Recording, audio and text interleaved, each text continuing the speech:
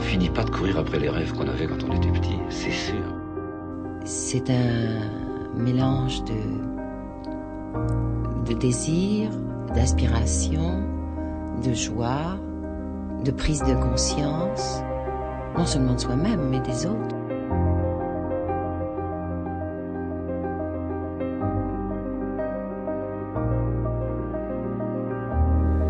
C'est en moi.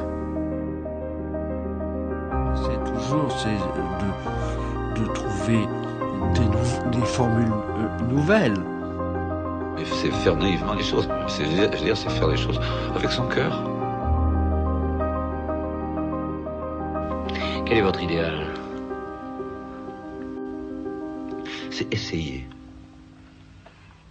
Je crois que c'est ça, c'est essayer, c'est tenter, c'est essayer.